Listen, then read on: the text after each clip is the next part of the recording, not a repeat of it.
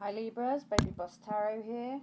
Okay guys, before I get into uh, your daily love reading, which is just a quick reading, uh, little announcement, I have finally got the Rider-Waite Tarot deck, which is signed by me, on eBay, and they are up for auction, okay guys? So this is what what um, is on there, so we've got the full here. Alright, it is signed Baby Boss Tarot, and underneath that is my squiggle. Alright, it is up for auction on eBay. The link for that will be in the description box below. Okay, guys, please like, share, and subscribe. Let's grow this channel. Alright, Libra.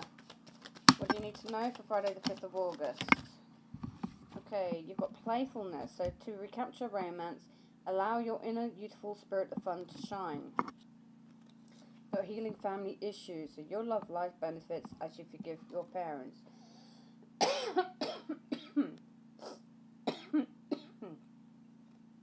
My apologies, Libra. You're the first sign I've done that to. Alright, let your friends help you. Ask for and accept support from others. Alright. This isn't a proper tarot read, this is like an oracle card read, okay, Libras? Alright, let's get your Power of Love activation card.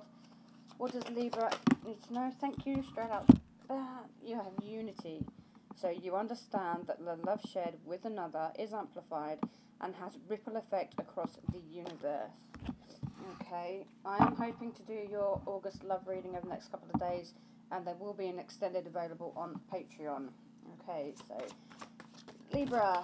Oh, you could be dealing with an Aries or an air sign that you've blocked, a Gemini, Libra, Aquarius that you have blocked, or you're dealing with an Aries. Okay, so that was your reading, my lovely Libras.